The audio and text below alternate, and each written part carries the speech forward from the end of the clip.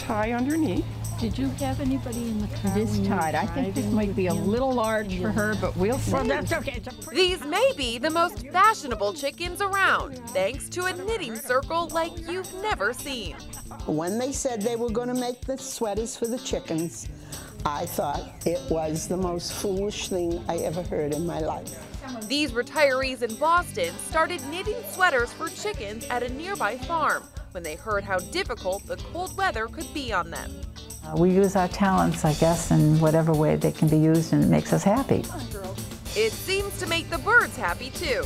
Well, I'm not sure uh, that we can show scientific results, but we've definitely seen some improvement in our egg production. If you look closely at the garments, they're impeccable. Bright colors, size to fit, and clearly made with love. The women don't always have the easiest time getting the outfits on. I mean, it's not a Right. it's pantsuit. Right. It's it's just a sweater here. But when they do, they're the perfect fit. Yeah, she might have uh, stretched it out now.